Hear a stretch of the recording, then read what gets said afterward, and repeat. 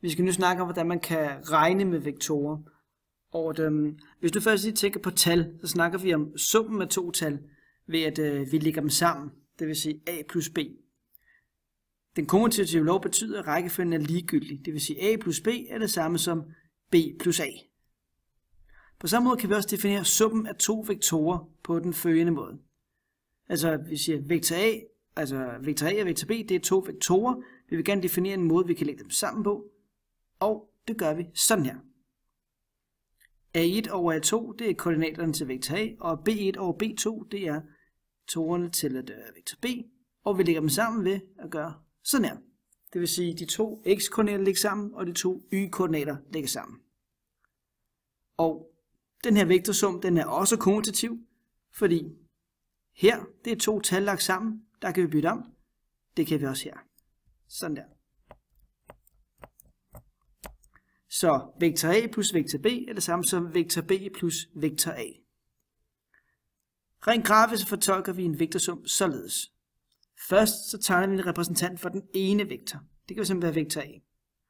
For enden af den her repræsentant tegner vi nu en repræsentant for den anden vektor, altså B.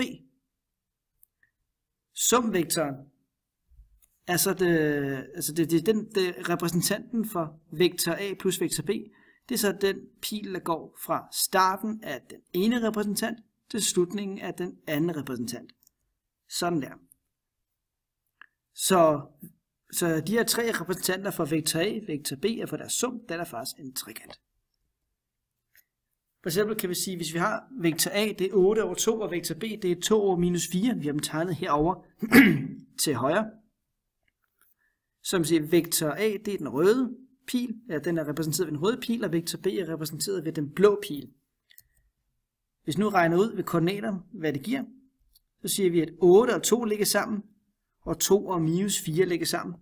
Det giver alt i alt 10 over minus 2.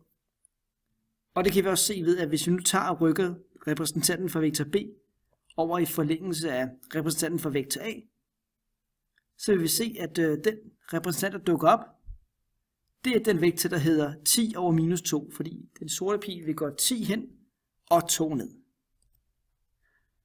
Vi vil sige, at vi finder at, øh, også en sum 6 over 2, 1 over 5. Sådan der. Det ligger de to sammen. Det giver så 7 over 7. Sådan der. Den røde vektor, øh, den røde pil, det er vektor 6 over 2, og den grønne, det er vektor 1 over 5. Og den blå vektor er deres sumvektor, nemlig den, der hedder 7 over 7. Vi går 7 hen og 7 op. Hvis vi bytter om på de to vektorer, så får vi det her billede, men vi får stadig den samme sum.